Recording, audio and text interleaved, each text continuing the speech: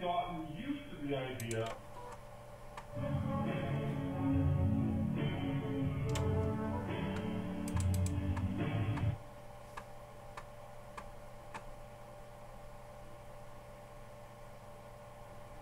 I think cryptocurrency and